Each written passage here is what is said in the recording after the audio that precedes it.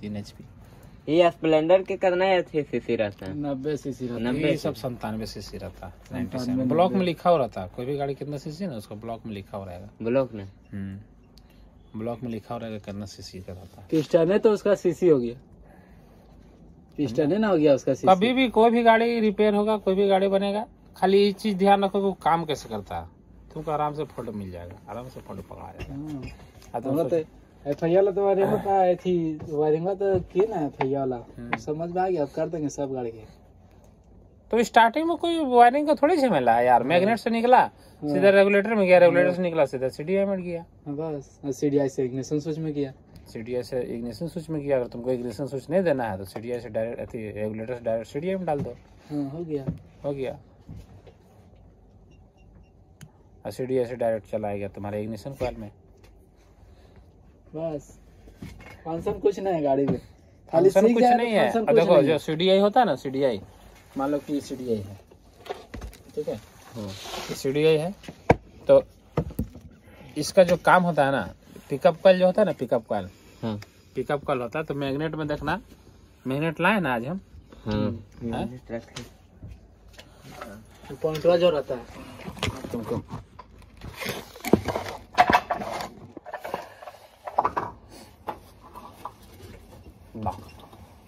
पूछने की ज़रूरत नहीं लाना इसे हम लोग काम ही है देखो ये जो दिया हुआ ना ये जो दिया हुआ ना हाँ। यहाँ पर जब तुम्हारा पिकअप कॉल ये जब आएगा ना इस जगह पे आएगा ना इस जगह पे तभी करंट देगा। वर्क करेगा। तभी वो करंट देगा तभी स्पार्क करेगा। अब इसका करंट और इसका करंट इसका काम है करंट को डिस्चार्ज करना मतलब करंट को बाहर फेंकना ना। करंट को छोड़ना। अगर ये हटा देगा ना तो तुम्हारा करंट आना बंद हो जाएगा। दोनों तार को अगर आपस में टच करें तो कंटिन्यू करंट आएगा। हमेशा करंट आएगा। तो ये जो पिकअप कॉल होता है ना किस टाइमिंग पे पिस्टन को जब पिस्टन ऊपर जाता है ना तो हल्का सा ऊपर टॉप में जब जाता है उससे हल्का सा नीचे जब रहता है ना देखना मैग्नेट में दो सिंबल मारा होता है। एक टी का मारा होता है और एक एफ़ का मारा होता है। एफ़ रहता है शायद। हाँ हाँ हाँ रहता है ना? तो एफ़ जो एफ़ जो जाता है ना उस जगह पे वो स्पार्क करता है। ये दोनों को पिकअप कॉल को और सी डी आई कौन गाड़ी का दे दिया यार? यूनिकॉर्न का दे दिया नहीं? हम्म, कटल तब ध्यान वाला दे दिया है। अच्छा, वापस। हमें ध्यान ही नहीं दिए इसको। दीपू वाला है तो स्टार्टिंग और इसका क्या बोलते हैं? पिकअप कॉल का जो करंट है ना वो दोनों को डिस्चार्ज करता है सी डी आई दोनों को इसमें दोनों करंट गया। और जब इस जगह पे आता है ना इस जगह पे हाँ। तो ये करंट को इसका जो करंट है उसको वहाँ पर मतलब कि क्या बोलते हैं उसको बनाता है उसको। जब करंट यहाँ से बन के निकला ना तो दोनों को इस जगह पे कैसे समझाएँ तुमको करंट उस जगह पे देता है। जब टॉप में जाता है ना तब उस जगह पे वो करंट देता है। तब वो ब्लास्ट होता है तब फिर जब जब पेट्रोल ब्लास्ट होता है ना तो पावर बनता है ना वहाँ पर तो नीचे कभी पीछे चला जाता पिस्टन है। टॉप में फायरिंग नहीं करेगा। पिस्टन टॉप में फायरिंग नहीं करेगा। और यही कभी चाबी इसका चाबी कट जाता है ना चाहे मैग्नेट क्या बोलते हैं टाइमिंग चेन आउट हो जाता है। लूज हो जाता है तो आउट हो जाता है तो ये गाड़ी मिस करने लगता है। उसको उस टाइमिंग पे न पेट्रोल जा पा रहा न उसमें करंट जा पा रहा। इसलिए वो भद भद भद भद कर लगता है। आज सुबह में एक डिस्कवर आया था हाँ। डिस्कवर हंड्रेड सी था ना एक सौ पच्चीस था। बोला तीन चार मिस्त्री दिखाया नहीं ठीक हुआ हाँ, तो उसका गाइड टूटा हुआ उसको एयर नहीं मिल रहा वहाँ से। कल ला के देगा। उसका एयर मिल रहा वहाँ से स्टार्ट किया तो पूरा मिस कर रहा गड़िया। और डिस्कवर वगैरह में ना कंडेंसर भी तार टूट जाता है फिर भी गाड़ी पूरा मिस करता उसको हाँ, करंट नहीं मिल पाता। कंडेंसर रहता है। उसको करंट नहीं मिल पाता सही वो जो गड़िया था प्लेटिनवा तो खाली कंडेंसर उड़ल था। और कितना दिन से परेशान था कि मिस कर रहा मिस कर। मिस कर एगो प्लेटिना नहीं आया था।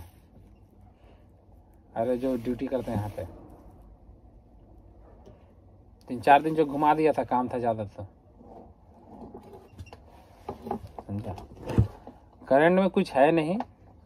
बहुत बार ऐसा होता है कि आदमी ध्यान नहीं देता है कि क्या चीज़ खराब है उस पर ध्यान नहीं देता। है बस कॉइल चेंज कर दिया ये चेंज कर दिया। सब कॉइल चेंज कर दिए फिर भी करंट नहीं दे रहा। बहुत कोई कहता ना सब है कॉइल चेंज कर देते करंट नहीं दे रहा। ऐसा थोड़ी होता है सब कॉल कभी भी कॉइल खराब होता है एक ही कॉइल खराब होगा। सब नहीं खराब सभ्य नहीं खराब होगा। एक ही को उड़ेगा जब भी उड़ेगा तो एक ही को उड़ेगा।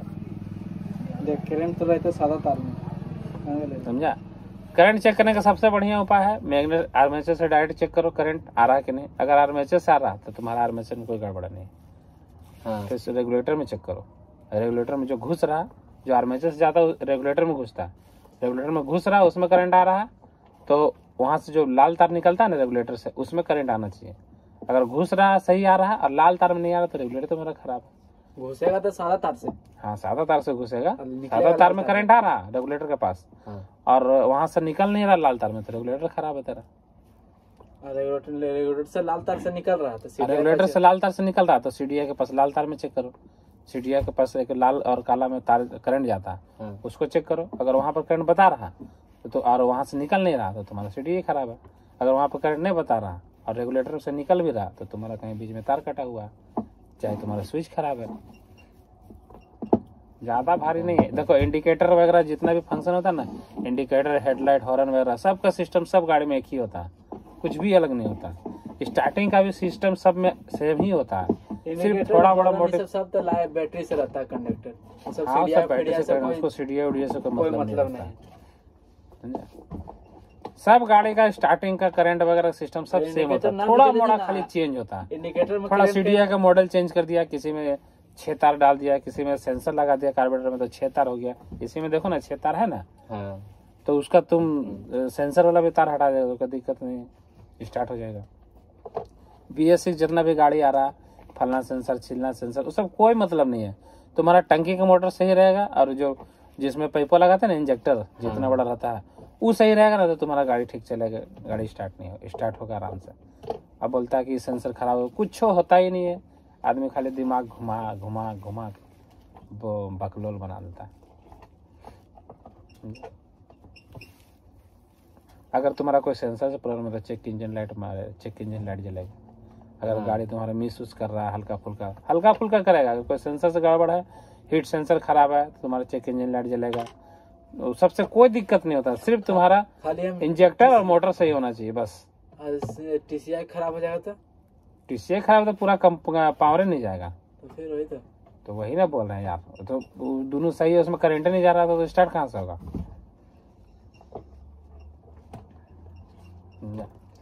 गाड़ी बनाने से पहले सीखना चाहिए कि वो काम क्या कर रहा है कैसे काम कर रहा।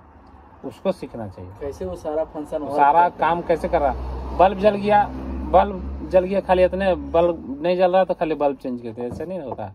बल्ब में करंट कहाँ से आया? पोल से पहले मेन स्विच में आया।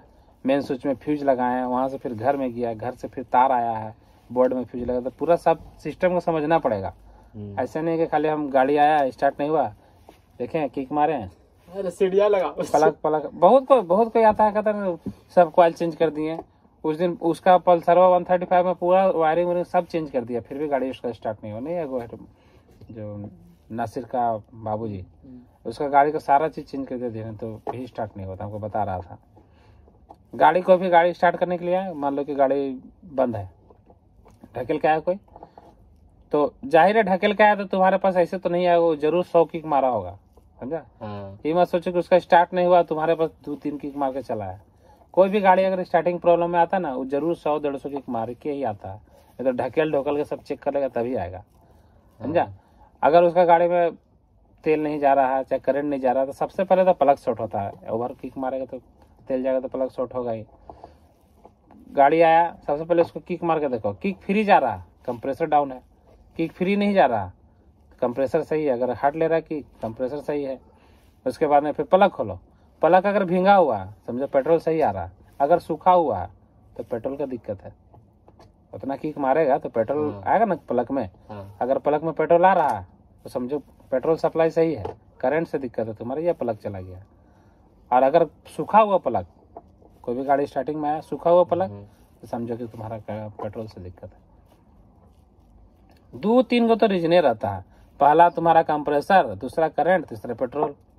तीनों चीज़ चेक करना है। चौथा कुछ है ही नहीं। ये तीनों सही रहा गाड़ी स्टार्ट हो जाएगा। करंट सही आएगा तो गाड़ी स्टार्ट हो जाएगा। करंट सही आएगा गाड़ी स्टार्ट हो जाएगा रहा सारा कॉइल चेंज कर दे फिर भी गाड़ी स्टार्ट नहीं हुआ। हाँ, सारा कॉइल चेंज कर दिए फिर भी बहुत बार करंट नहीं आता। इसको रख दो। तेरी जब सब सब कॉइल चेंज कर ही दिया तो करंट तो आना चाहिए। कभी भी कोई भी बोलते रहे कोई भी। और देखो पैसन प्रो वगैरह में क्या होता है ना ये तुम्हारा आर्मेचर खराब ही रहेगा ना। तो गाड़ी स्टार्ट हो जाएगा। बैटरी सही होना चाहिए। हम्म, पैसन प्रो साइन अगर बैटरी में तुम्हारा जान है तो गाड़ी स्टार्ट हो जाएगा। हाँ। उसको करंट से मतलब है। तो मैग्नेट से दो चाहे बैटरी से दो। कल जो गाड़ी आया था उसका क्या हुआ था? वही ना हुआ था। बोला कि वहाँ पाइप चेंज करा दिया वहाँ प्लग चेंज कर दिया फिर भी वही प्रॉब्लम है। हाँ। जबकि उसका रेगुलेटर से तार कटा हुआ था। बैटरी जब तक चार्ज था तब तक चल रहा था। बैटरी जब तक तार था। डीसी ना है मेन बात। डीसी खोले? देखा तार कटा हुआ है। जोड़ दिए हो गया। एक ही एसी गाड़ी में मालूम है रेगुलेटर से कोई फ़ंक्शन काम नहीं है। चलो दिमाग लगा। दो चीज़ स्कैन करना बजाज गाड़ी में रेगुलेटर का कोई काम नहीं है। खाली बैटरी चार्ज करेगा बजाज गाड़ी में। ले दो स्कैन कर दो उसको खाली खोल दो तो। वो दोनों सस्पेंसर जो है उसको खोल दो। अरे उसको स्कैन करना समझ में आया?